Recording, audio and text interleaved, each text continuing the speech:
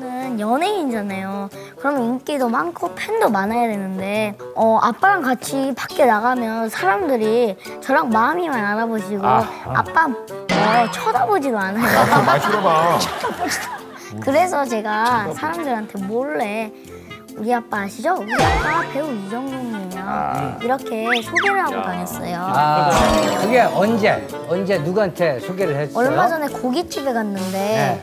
어, 주인 아주머니가 가게 앞에 달아놓으려고 저랑 마음이한테 사인을 해달라는 거예요. 음. 그래서 예쁘게 사인을 하고 있는데 아, 어, 제가 아빠를 딱 보니까 아빠가 이렇게 울상 표정이 돼 있는 거예요. 네네네. 그래서 제가 아빠 몰래 주인 아주머니한테 어, 우리 아빠도 사인 잘해요. 우리 아빠 아시죠? 이렇게 말했더니 음. 주인 아주머니가 아빠한테도 사인 해달라고 했어요. 아 그게 그런 거였어? 어? 그러니까 나를 사인 안 받다가 네가 얘기해갖고 그때 사인 안 받은 거. 정말 기특하구나 그래. 정말 기특하구나 그래. 어? 아 근데 민호야, 네, 마, 네가 너네가 모르고 있는데 아빠를 사람들이 모르는 게 아니라 아빠가 등치도 크고 좀 인상이 강해서 사람들이 알아도 모- 그냥 모른 척 하고 계시는 거야. 그리고 아빠는 했던 역할이 뭐 조폭이나 뭐 킬러나 이런 걸 많이 해서 그냥 일반인들보다 지하 세계에 계시는 분들이 많이 나를 알아봐 주셔. 지하 세계에. 어?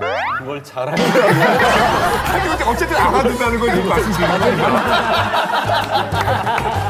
자, 망군. 망군은 또 아빠를 위해서 했던 기특한 일이 있어요? 저번에 인터넷을 봤는데 믿음형 사진 밑에는 믿음이는 똑똑하고 착하게 생겼어 라고 써져 있었어요.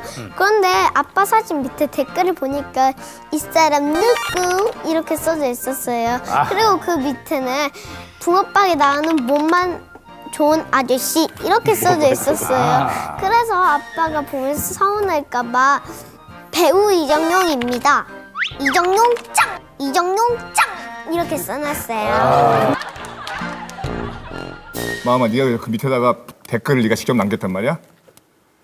기특하다 정말. 기가 막히네.